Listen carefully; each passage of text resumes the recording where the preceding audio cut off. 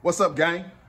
I just completed a oil filter and fuel filter replacement on my 2020 Dodge Ram 3500 6.7 liter diesel engine.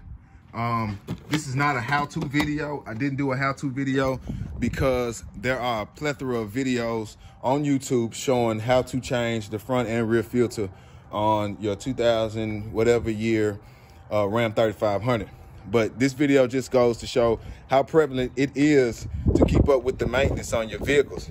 Uh, this right here is the rear fuel filter. As you can see how heavily saturated it is and whatever is supposed to be catching out of the diesel fuel. Um, that's the rear one. And this one is the front one that's under the cab of the vehicle. It's not as saturated as the rear. Um, for what reason, I don't know. But this just, look at this. It's just so much. It's just black as fuck. It looks like oil's going through this thing. But that goes to show that it is doing its job and that it, how prevalent it is to keep up with the maintenance on your vehicles, you know, because that determines the longevity along with the, uh, a list of other factors, um, you know, the longevity of your vehicle.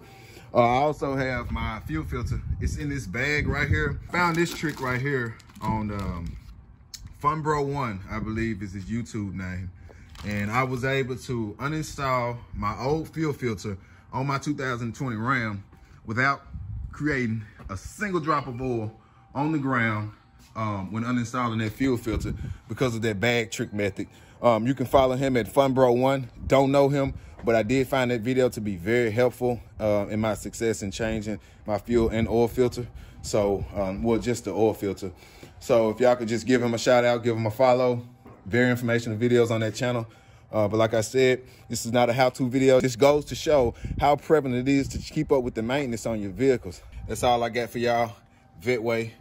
Uh, keep in touch for the next video, man. We out vibe ever since that I met you. You already knew I was up. I done had dreams that your body was under my body and I was going deep in them guts.